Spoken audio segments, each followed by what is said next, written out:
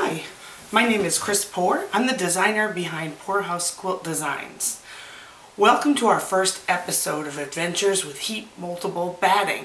Heat Moldable Batting provides texture and stiffness to your quilting projects. I have a small square of it right here. Actually, it's a rectangle. You can see it's soft, pliable, just like regular batting.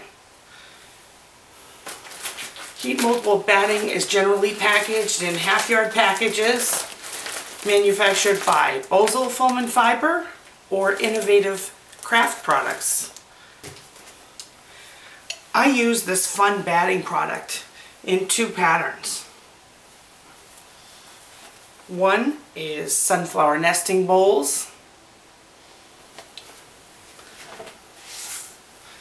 The other is essentials clutches. You can see the stiffness it adds.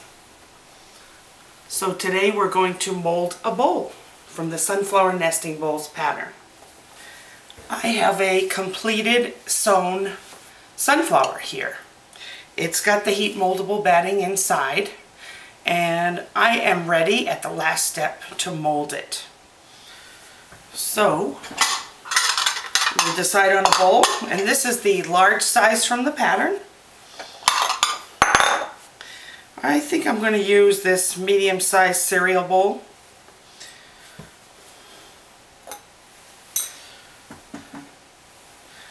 What I'm going to do is center it over the bowl and apply some steam. My iron is nice and hot and it's got good steam.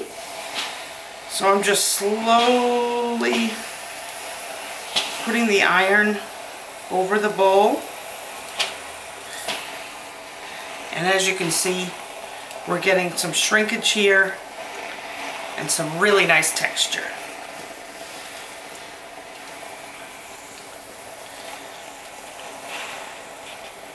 And it's steaming my glasses.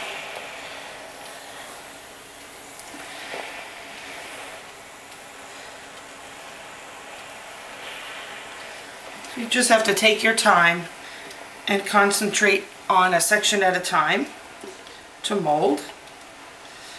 Now that I have all the petals formed, I'll just stiffen up the bottom of the bowl.